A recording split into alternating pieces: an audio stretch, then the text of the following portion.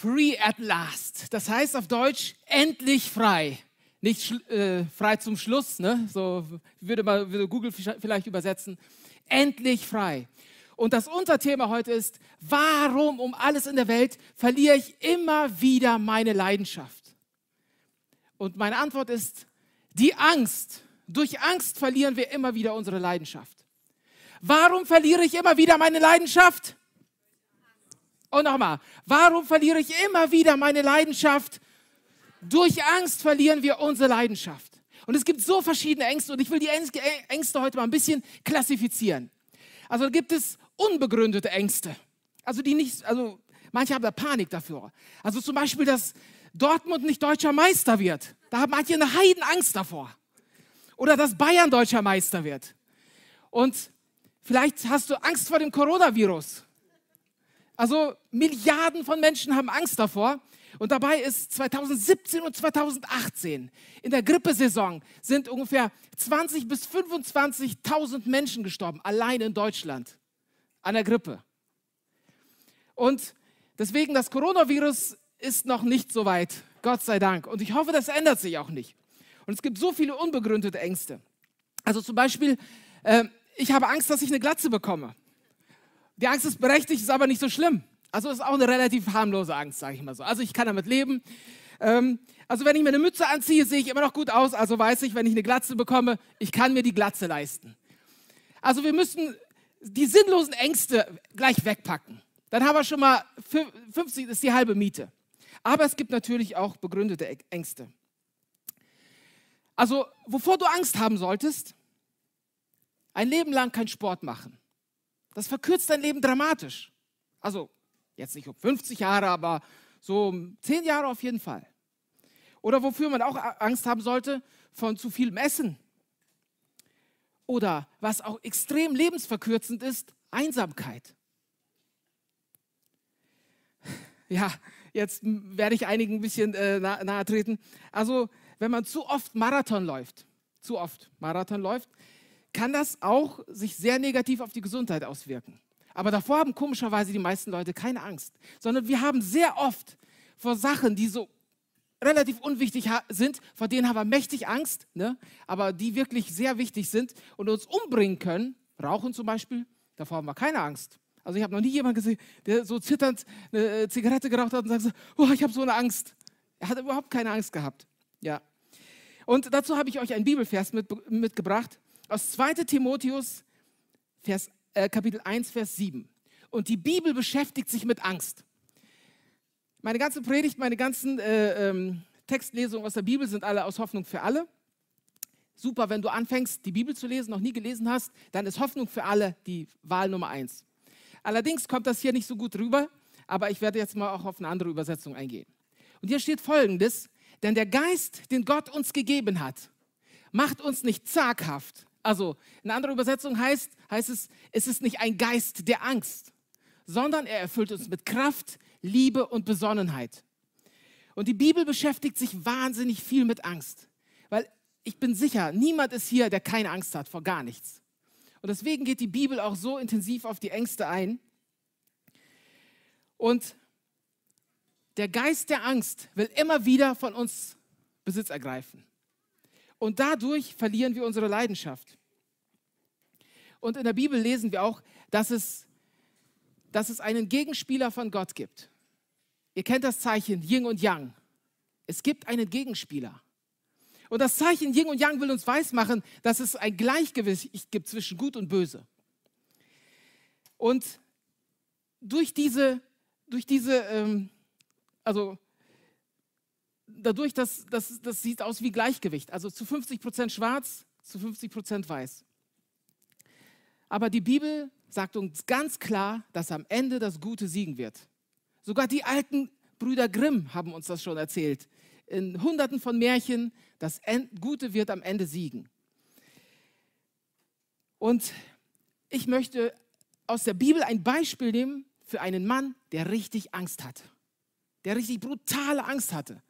Und ihr werdet es nicht glauben, welcher Mann das ist. Es ist Elia. Elia ist der Mann, der richtig Schiss hatte. Und zwar hatte er zu einem Zeitpunkt Angst wo man es nicht erwartet hätte.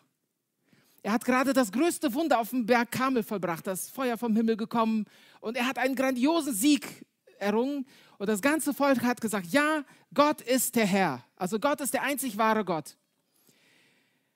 Und Elia ist so richtig gut drauf und man könnte meinen, Angst wird nie wieder ein Thema sein. Nie wieder wird für Elia Angst ein Thema sein. Und auf einmal bekommt er eine Textmessage. Und da steht, Hi, ich bin's, Isabel. Oh, die Isabel, das war die damalige Königin. Das war also nicht Isabel, sondern Isabel. Ne?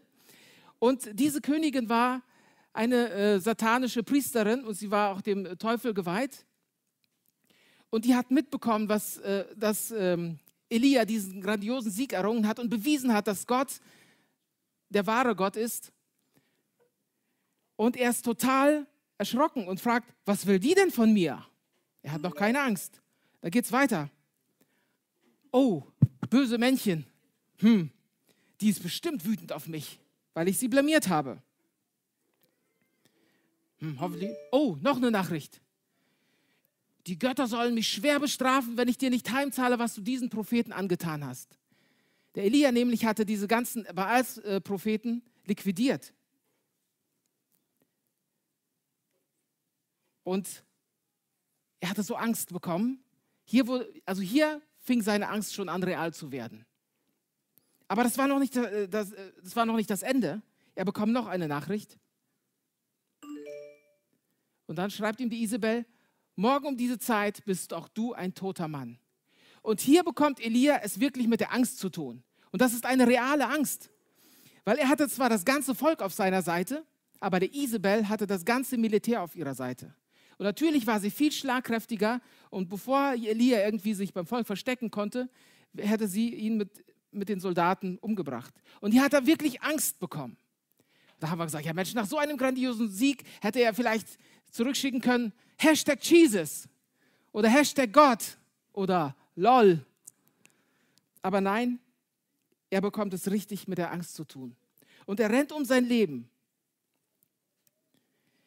Und vielleicht hast auch du in deinem Leben Ängste, wirklich existenzielle Ängste. Beruflich, emotional, in den Beziehungen. Und du hast wirklich Angst. Und du bist auf der Flucht, vielleicht vor dir, vielleicht vor anderen. Und genau das sagt uns auch die Bibel, dass, dass die Mächte, die, die der Gegenpol zu Gott sind, die wollen uns runterziehen. Die wollen uns immer wieder unsere Leidenschaft für Gott, unsere Leidenschaft in unseren Beziehungen zu unseren Kindern, immer wieder uns diese Leidenschaft rauben. Aber ich sage euch eins, Angst ist normal.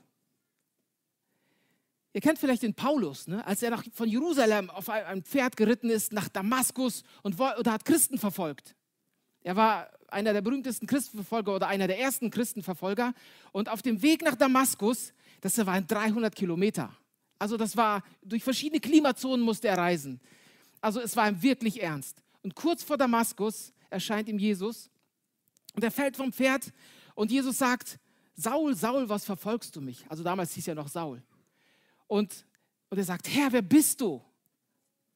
So, und ihr kennt die Geschichte, die, die meisten werden diese, diese Story kennen. Und die Leute, die, die mit ihm gereist sind, seine Weggefährten, die haben das Licht gesehen, aber die haben keine Gestalt gesehen.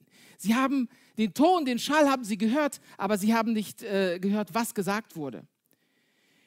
Und jetzt wird dieser Paulus nach Damaskus gebracht. Und er ist da drei Tage in irgendeinem Haus und isst nichts und trinkt nichts und macht sich, über, macht sich Gedanken, was habe ich nur angerichtet? Ich habe Jesus verfolgt. Und dann in dieser Stadt, in Damaskus, ist ein Mann, den finde ich cool. Das ist der Hananias oder Ananias, je nach Übersetzung. Sagen wir, Hananias wird er meistens genannt. Und Gott spricht zu diesem Hananias und sagt, Hananias, geh in das und das Haus, in die Straße, die heißt die Gerade oder also wahrscheinlich die Hauptstraße oder Breitenstraße hier, ne? Da ist der, Paul, äh, der Saulus und er betet. Und du sollst ihm die Hände auflegen, damit er gesund wird. Und der Hananias bekommt es mit der Angst zu tun. Und sagt, hey, äh, also ich sage, Gott hat es ihm gesagt, nicht irgendjemand, nicht irgendein Engel oder sowas, eine Gabriel oder sowas. Gott persönlich hat es ihm gesagt, hey, mach das. Und er sagt, ich habe Angst. Gott, ich weiß genau, dass er Christen verfolgt und Christen tötet und so weiter und so fort. Ich habe Angst. Aber trotzdem geht er hin und macht das. Und das ist ganz normal, wenn du Angst hast in deinem Leben vor der Zukunft und allem Möglichen. Also wir sehen, das ist legitim. Und auch hier hat Elia eine völlig legitime, realistische Angst. Und er, und er haut ab in die Wüste und geht dort in eine Höhle hinein. Und wir lesen das in 1. Könige 19, Vers 13. 1. Könige 19, Vers 13. Und er ist dort in der Wüste. Er verhüllte sein Gesicht mit dem Mantel, ging zum Eingang der Höhle zurück und blieb dort stehen. Und noch einmal wurde er gefragt, Elia, was tust du hier? Also wir sehen, Elias abgehauen und er ist tief im Schlamassel drin. Voller Angst. Elia, was tust du hier? Vielleicht geht es dir auch so in deinem Leben. Vielleicht hast du Probleme mit deinem Chef, in deiner Beziehung oder sonst wo. Und die Isabel gibt es heute natürlich nicht mehr. Aber vielleicht ist dein Chef so eine Art Isabel oder dein Vorgesetzter. Und du hast Angst. Und da gibt es auch noch, wie gesagt, am Anfang habe ich gesagt, die begründete Angst und die unbegründete. Und da gibt es noch die spezifische Angst und die unspezifische. Weil manche Menschen, wenn du fragst, wovor hast du Angst, weiß ich nicht. Ich habe einfach Angst. Also Psychologen nennen das eine frei flottierende Angst. Also eine Angst, die also losgelöst ist von allem Möglichen, von der Situation. Und dann gibt es noch die spezifische Angst. Also vor Arbeitslosigkeit, vor Krankheit, vor Krebs, vor Spinnen und so weiter und so fort. Und eine Angst steht immer am Anfang. Also es ist selten, dass Menschen Depressionen bekommen, ohne vorher Angst zu haben. Und Zwe die zweite Stufe, also erst kommt die Angst, die uns die Leidenschaft raubt. Und das ist noch normal. Wenn wir diese Angst dann handeln, dann ist alles gut. Da können wir unsere Leidenschaft wieder zurückgewinnen. Aber wenn wir diese Angst nicht handeln und sie zulassen, dann wird es schwierig. Dann kommt nämlich die Resignation. Und nach der Resignation kommt die Isolation. Und dazu lese ich euch aus 1. Könige 19, Vers 3 bis 4. Da packte die Elia die Angst. Ne? Ganz normal. Die Isabel hatte die, das Heer angewiesen, ihn umzubringen, die Soldaten. Da packte ihn die Angst, ganz normal. Er rannte um sein Leben und floh bis nach Beersheba, ganz im Süden Judas. Das waren über 200 Kilometer, über Stock und Stein. Auch noch okay. Aber dort begeht er einen Fehler. Und aus seinem Handeln geht heraus, dass er dort resigniert hat. Er hat aufgegeben. Und zwar steht es, dort ließ er seinen Diener, der ihn dahin, bis dahin begleitet hatte, zurück. Das heißt, er war nicht allein, also er war, diese ganze Zeit ist er nicht alleine äh, gelaufen, sondern sein Diener ist mit ihm mitgelaufen. Und als er dort ankommt in Beersheba, 200 Kilometer südlich, resigniert er. Er resigniert und lässt seinen Diener zurück. Also Resignation, Isolation. Und jetzt begibt er sich in eine gefährliche Spirale hinein. Angst, Re äh, Resignation, Isolation. Und allein, ganz allein, wanderte er einen ganzen Tag lang weiter bis tief in die Wüste hinein. Zuletzt ließ er sich unter einen Ginsterstrauch fallen und wünschte, tot zu sein. Herr, ich kann nicht mehr, stöhnte er. Lass mich sterben. Irgendwann wird es mich sowieso treffen, wie meine Vorfahren. Warum nicht jetzt?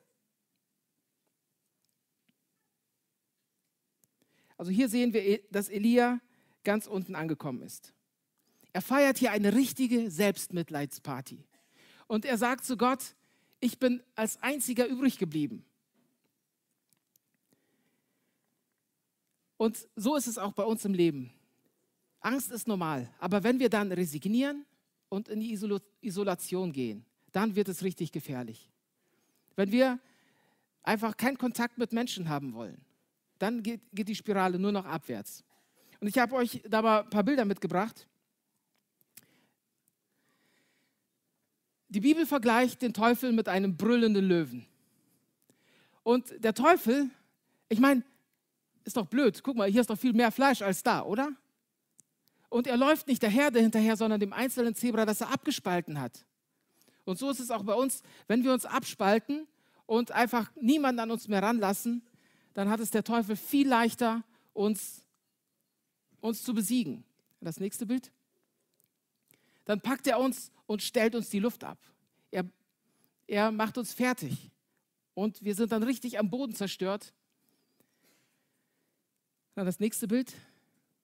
Aber wenn wir zusammenhalten, wenn wir als Church zusammenhalten, wenn wir in der Gemeinschaft miteinander sind, dann hat er keine Chance.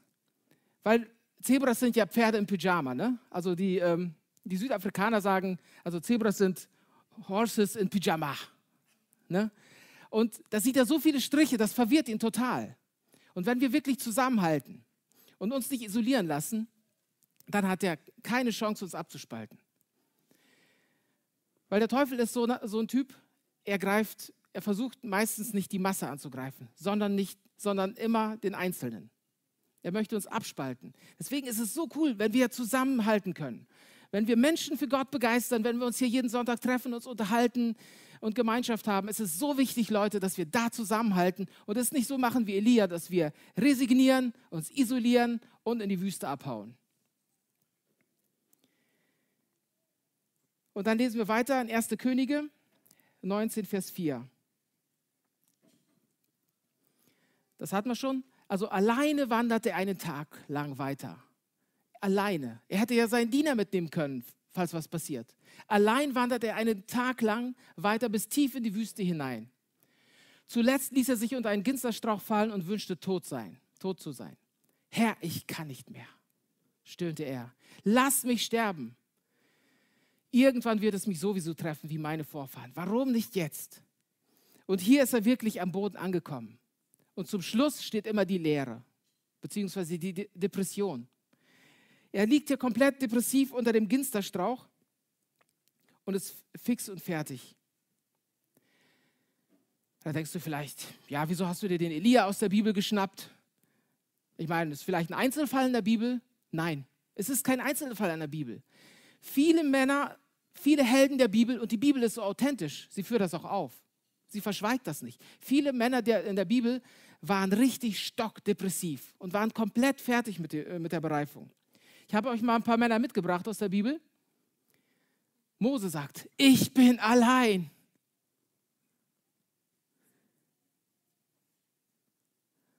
Dann, wer ist das? Hiob sagt, ich bin Warum bin ich nicht tot?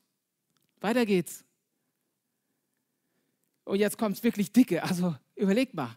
Das ist der Jeremia, einer der, der berühmtesten Propheten des Alten Testaments. Der sagt, verflucht sei der Tag meiner Geburt. Ey, wie heftig geht das denn? Okay, weiter geht's. Wer ist das? Kann man ein bisschen erkennen? Das ist der Jona. Lieber tot als lebendig. Er will lieber tot als lebendig sein. Deswegen, Leute, wenn wir ganz am Boden sind, wenn wir unsere Leidenschaft verloren haben, wenn wir nicht mehr begeistert für Gott sind, wenn wir nicht mehr begeistert sind für unsere Beziehungen, wenn du nicht mehr begeistert bist von deinem Ehepartner, von deinen Kindern, es gibt Hoffnung. Und die Bibel sagt, das ist, das haben andere mitgemacht und sie sind wieder aufgestanden. Alle diese Männer sind wieder aufgestanden.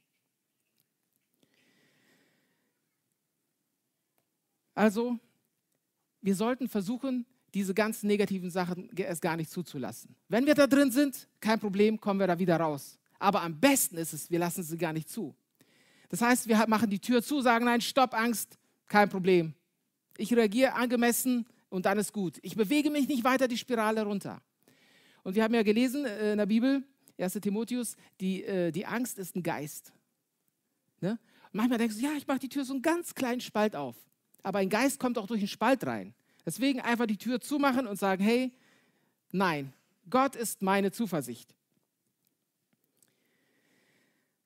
Ja, und was ist denn, wenn wir dann in unserem Alltag wirklich ganz unten angekommen sind? Wir haben erst Angst vor irgendwas. Dann wollen wir aus der Angst rauskommen, schaffen es aber nicht gleich, dann resignieren wir. Und wenn wir resigniert haben, wollen wir vielleicht nicht, dass die anderen das mitbekommen, dass wir Angst haben, wir wollen es nicht zugeben, dass wir Angst haben. Und wir gehen in die Isolation. Und dadurch wird alles schlimmer und letztendlich landen wir bei der Depression. Am Anfang ist immer die Angst ganz groß, die Depression ganz klein.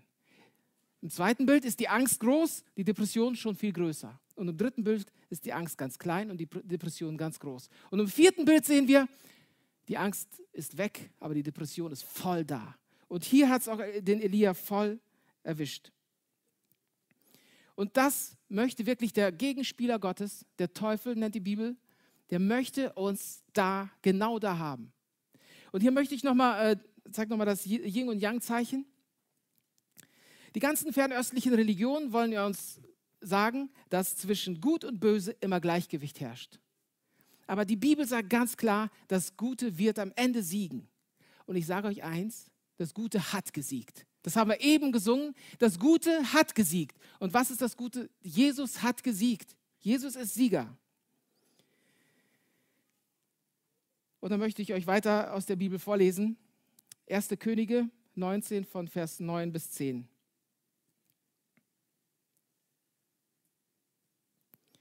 Und hier ist der Elia wirklich am Boden.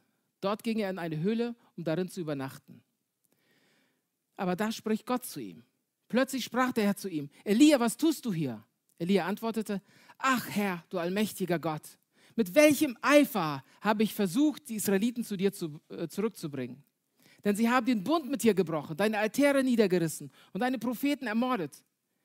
Nur ich bin übrig geblieben. Ich allein. Ne, hier sehen wir wieder, ich allein. Und nun trachten sie mir auch nach dem Leben. Ich allein. Aber Gott sagt, nein, du bist nicht allein, Elia. Es gibt noch 7000 andere, die der gleichen Meinung sind wie du. Aber Elia hat sich nicht mit ihnen connected. Er hat sich einfach isoliert. Was können wir konkret tun, wenn wir ganz unten angekommen sind? Angst, Resignation, Isolation, Depression. Was können wir konkret tun? Und ich möchte euch zwei ganz konkrete Sachen an, an die Hand geben, die uns in der Bibel äh, beschrieben werden, was wir tun können. Und dazu lese ich euch noch eine Stelle aus 1. Könige, Kapitel 9, 19, von Vers, Vers 5 bis 7. Genau. Hier wird es nochmal beschrieben, wie Elia dieses Ding reingekommen ist, in diese Angst, in diese Depression. Er streckte sich unter dem Ginsterstrauch aus und schlief ein. Also in der Bibel wird sogar erwähnt, unter welchem Baum der sich hingelegt hat. Ich habe mich gefragt, ja Menschenskinder, wieso Ginsterstrauch, wieso nicht, was weiß ich, Ölbaum? Also in der Bibel ist das ist ein Symbol, Ginster ist immer giftig. Es gibt nichts am Ginster, vom Wurzel bis zum Blatt und Frucht und Blüte alles ist giftig. Und hier wird es in der Bibel so ein Symbol quasi gebraucht, dass er sich unter einen Ginsterstrauch legt, pures Gift. Das vergiftet ihn. Und hier geht es weiter. Plötzlich wurde er von einer Berührung geweckt. Ein Engel stand bei ihm und forderte ihn auf, Elia, steh auf und iss. Als Elia sich umblickte, entdeckte er neben sich ein, entdeckte er neben seinem Kopf ein Fladenbrot, das auf heißen Steinen gebacken war und einen Krug Wasser. Er aß und trank und legte sich wieder schlafen. Doch der Engel des Herrn kam wieder und weckte ihn zum zweiten Mal. Steh auf, Elia, und iss, befahl er ihm noch einmal. Sonst schaffst du den Weg nicht, der vor dir liegt. Also wir sehen, wenn wir am Ende sind, dann ist Gott noch lange nicht am Ende. Und es macht, äh, glaube ich, nicht so viel Sinn, wenn wir uns dann in Aktionismus verlieren, sondern dass wir dass wir dann einfach uns in Worship hüllen. Dass wir einfach sagen, hey Gott, ich will dich einfach anbeten, ich will mich einfach deiner Gegenwart aussetzen. Dann hüll dich einfach, wenn es dir richtig dreckig geht. Nimm bei YouTube oder irgendwie CDs oder was du da zu Hause hast und mach richtig Worship an. Das ist so Hammer. Das ist so effizient, wenn wir anfangen, Gott zu loben.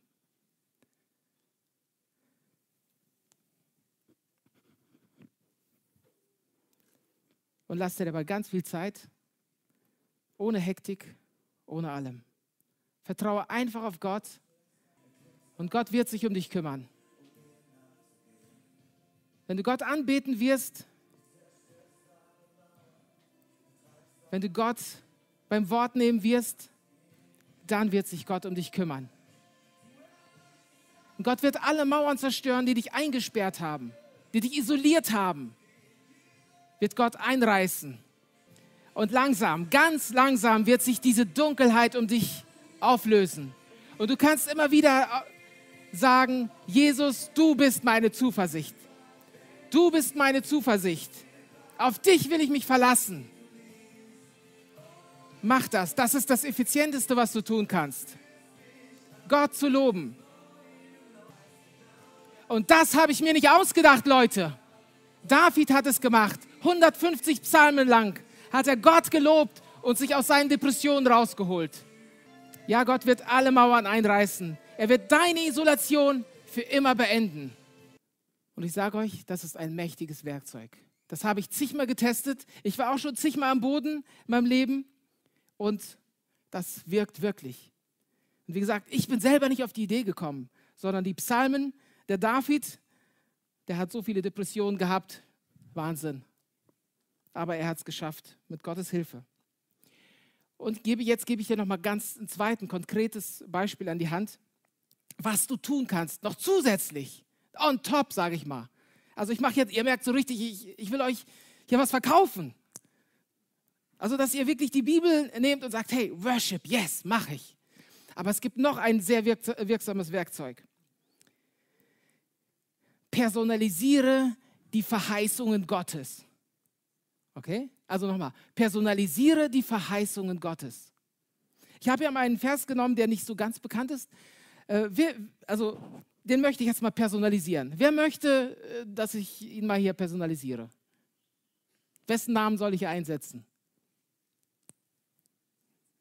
Joe, okay. Joe, ich werde jetzt diesen Vers auf dich zuschneiden. Das ist auch super. Ähm, Jesaja ähm, 61, Vers 3. Die 6 ist ein bisschen äh, unter die Räder gekommen. Ja, das hängt damit, weil ich die E-Mail mit, mit Mac geschickt habe. Also, genau. Also, wir wollen jetzt diesen Vers personalisieren. Also, ihr seht diesen Vers. Vorbei ist die Leidens, Leidens, äh, Leidenszeit vom Joe. Vorbei ist die Leidenszeit vom Joe. Er streut sich nicht mehr voller Verzweiflung Asche auf seinen Kopf, sondern er schmückt sich mit, einem, mit einer coolen Frisur. Statt der Trauergewänder gebe ich ihm cooles Parfüm von Prada zum Beispiel, das ihn erfreut. Seine Mutlosigkeit will ich in Jubel verwandeln. Und Joe wird geschmückt damit, wie mit richtig stylischen Klamotten. Wer ihn dann sieht, vergleicht ihn mit einem Baum, den Gott selbst gepflanzt hat.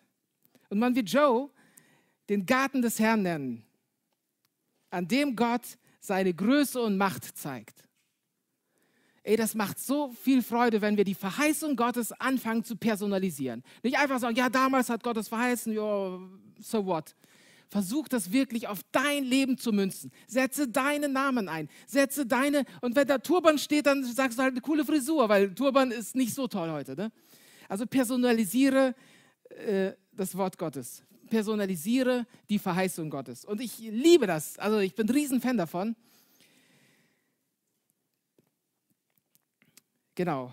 Also das, ist, das sind die zwei unglaublich wirksame äh, Sachen. Weil viele versuchen dann Aktionismus, Probleme zu lösen und so weiter und so, und so fort. Aber wirklich Worship und Gottes Verheißungen in Anspruch nehmen, das ist so, so der Hammer. Und dann kommt es auch bei Elia langsam zu einem Turnaround. Es kommt zu einem Turnaround bei ihm. Und dazu lesen wir 1. Könige 19 von Vers 10 bis 11. Und hier heult er noch am Anfang. Also bei diesem Abschnitt, also ein paar Verse haben wir schon gelesen, aber hier sehen wir den Dreh, wo, sich, wo es gerade gedreht wird. Okay? Am Anfang heult er noch rum und sagt, ach Herr, du allmächtiger Gott, mit welchem Eifer habe ich versucht, die Israeliten zu dir zurückzubringen? Denn sie haben den Bund mit dir gebrochen. Ne, die Story kennen wir alles. Denn das ist typisch so. Immer wieder die gleiche Leier. Ne? Deine Altäre niedergerissen, deine Propheten ermordet. Nur ich bin übrig geblieben. Ich allein. Und nun trachten sie auch mir nach dem Leben.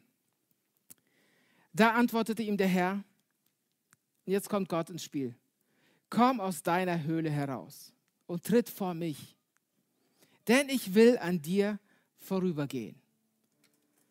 Und wenn du ganz tief unten bist, ganz, ganz tief unten bist, in deinen Beziehungen, in deiner Beziehung zu Gott, in deiner Arbeit, in deinem sozialen Umfeld, dann darfst du aus deiner Höhle herauskommen. Dann darfst du aus deiner Höhle herauskommen und Worship mit Gott erleben, Gott anbeten. Dann darfst du die Verheißung Gottes personalisieren und du wirst es nicht glauben. Dann wird Gott sagen, ich will an dir vorüberziehen. Da wird Gott wieder in dein Herz, also wird dich erfüllen, wird, da wirst du auch seine Gegenwart nicht nur wissen, dass er da ist, sondern du wirst sie auch spüren. Und dann das würde jetzt den Rahmen sprengen, da erlebt Elia wirklich eine komplett neue Vision. Gott gibt ihm eine komplett neue Vision, einen neuen Auftrag. Und so wird es Gott in deinem Leben auch tun. Also komm einfach raus aus deiner Angst, deiner Resignation, Isolation und aus deiner Leere, aus deiner Depression. Denn Gott möchte an dir vorübergehen. Wenn du vielleicht noch nicht mit Gott unterwegs bist, dann kannst du vorher noch einen First Step machen und das tun, was die Bibel sagt, und zwar Jesus als deinen Erretter annehmen. Und das Lied, was die Band jetzt gleich singen werden, was die Sänger singen werden, du darfst während dem Lied, das Lied ist ein gesprochenes Gebet, wenn du das Lied nachsingen kannst und diese Worte wirklich ernst meinst, dann kann Gott in dein Leben kommen, wenn du noch, noch nie mit Gott unterwegs bist. Und wir singen jetzt gemeinsam das Lied. Ihr könnt gerne dazu aufstehen und singe mit, bete einfach mit.